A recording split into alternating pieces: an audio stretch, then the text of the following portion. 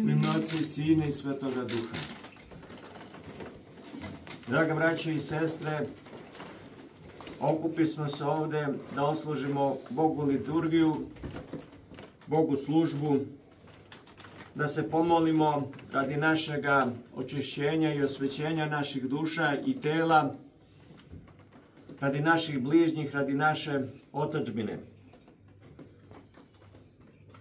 Ali je teško pohvaliti u malo reči velika dela našeg slavnoga svetoga kralja Milutina. Isuviše bi bilo teško u jednoj kratkoj besedi iskazati svu veličinu njegovog dela koje seže do nas i koje će da seže i do onih posle nas. Takvog nam je vladara Bog bio dao svetoga koji je bio vrlino ljubiv, čovekoljubiv, starao se za božansko, sebe je doživljavao kao slugom Božjega carstva, a narod kao do Boga poverovani mu narod, za koji on kao vladar ima da da Bogu odgovor kako je upravljao njime i koliko je koristi doneo tom svom narodu i kako je ukrasio taj svoj narod. Taj narod je njegova najveća pohvala, ali da bi taj narod bio njegova velika pohvala, taj narod je trebao da bude sveti narod. Jer Bog kaže budite sveti jer sam ja svet.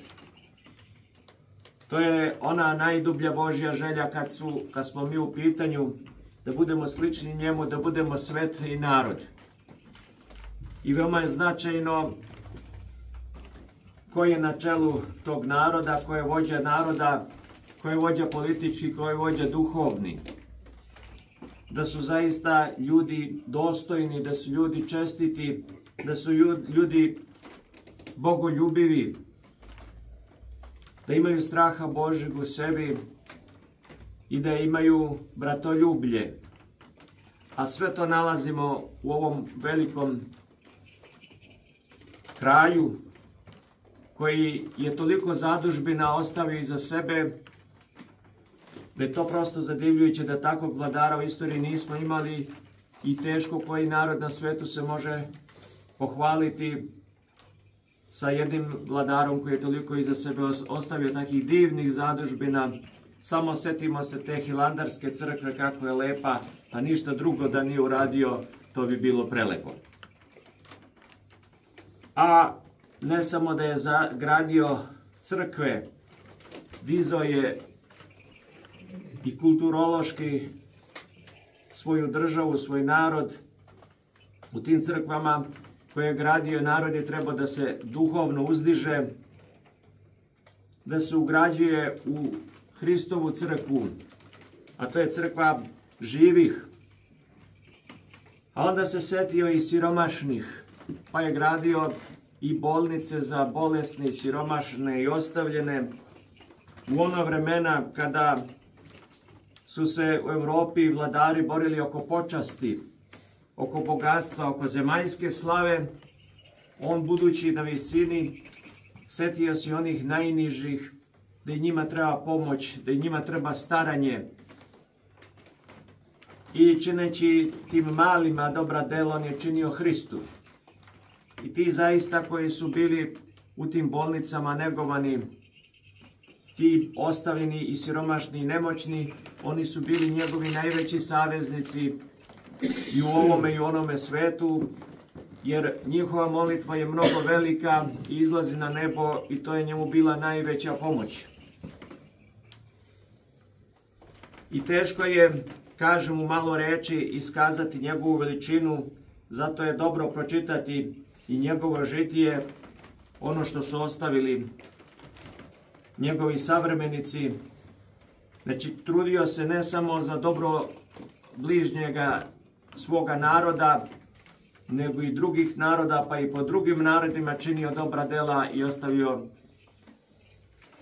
svojih dela i izdanja i crkava koje gradio i u drugim narodima. Zato je on vaseljenskog značaja. M je vladar, a M je sveti čovek. I njegovim molitvama mnogi mogu dobiti utehu i pomoć.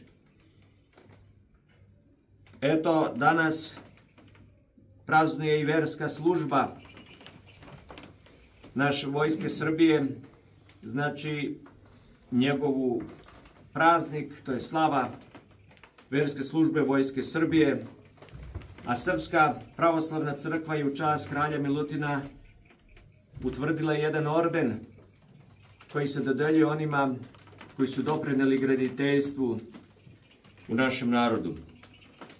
Neka bi molitvama svetog kralja Milutina i mi zavoleli život u vrlini. Jer se on do kraja života trudio da živi u vrlini, dajući primer svima nama. Jer to je jedna od najvažnijih stvari, pored ovoga crkvenog života, znači da i živimo u vrlini, da činimo dobra dela i da proslavimo tako Oca našega nebeskoga. Amin.